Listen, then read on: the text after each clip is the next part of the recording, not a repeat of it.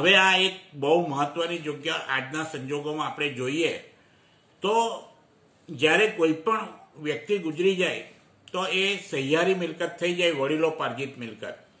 એટલે કે કોઈ એક પિતાના ચાર દીકરા હોય અને પિતા ગુજરી જાય, તો ચારેય દીકરાનો ચાર સમાન હિસ્સો લાગે. અને જો એ ચાર દીકરામાંથી કોઈ પણ એક દીકરાને પોતાનો હિસ્સો વેચવો હોય, તો એનો પ્રથમ હક એનો અગ્રહક બાકીના ત્રણ ભાઈઓને લાગે. એ જો ત્રણ ભાઈ ખરીદવાની ના પાડે તો જ એ કુટુંબની બહાર એ મિલકત વેચી શકે.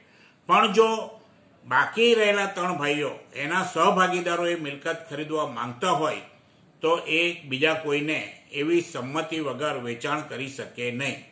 અને આમ છતાં, કોઈ વારસદારે પોતાનો વણ વેચાયેલો હિસ્સો, પોતાનો વણ વેચાયેલો હિસ્સો કોઈ ત્રાહિતને વેચે, એના સહભાગીદાર સિવાય, સહમાલિક સિવાય કોઈને વેચે, તો એવો વેચાણ દસ્તાવેજ એ એક વર્ષમાં રદ કરાવી શકે છે કે એ મિલકત ખરીદવાનો પોતાનો હક હતો.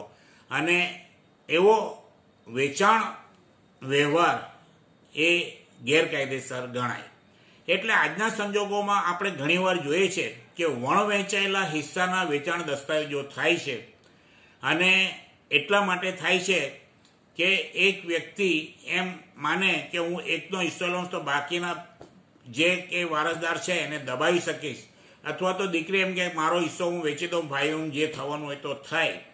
તો તેવું વેચાણ, તેવો વ્યવહાર ગેરકાયદેસરનો ગણાય અને જે દિવસે વ્યવહાર થયો હોય તેના એક વર્ષમાં એવો વ્યવહાર રદ કરવા માટે દાવો કરી શકે અને એવો વ્યવહાર રદ બાતલ કોર્ટ જાહેર કરે.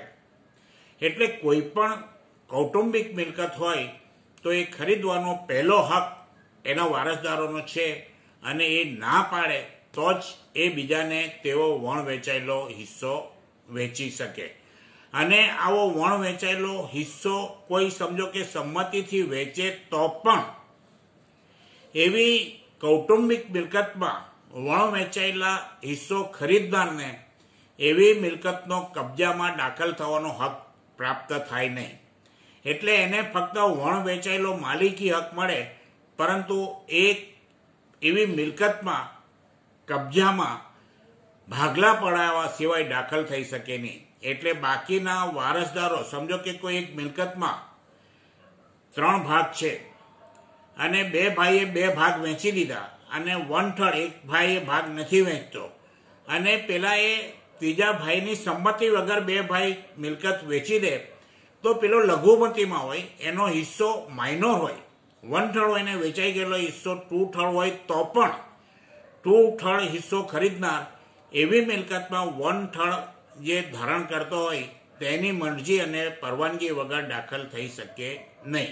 એટલે એમાં કેટલો હિસ્સો છે તે મહત્વનો નથી, પણ જ્યાં સુધી પાર્ટીશન ન થાય, ત્યાં સુધી વણ વેચાયેલા મિલકત ખરીદનારને તેમાં કબજામાં એનો હક લાગુ પડતો નથી.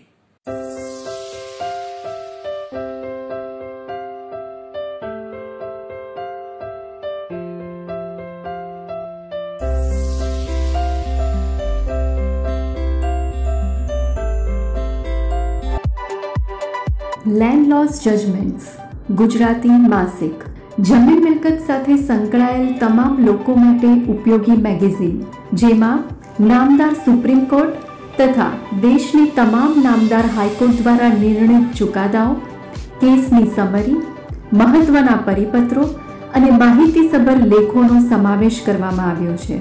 આપની કોપી બુક કરાવવા માટે હમણાં જ સંપર્ક કરો. Seven eight seven eight six two zero four zero five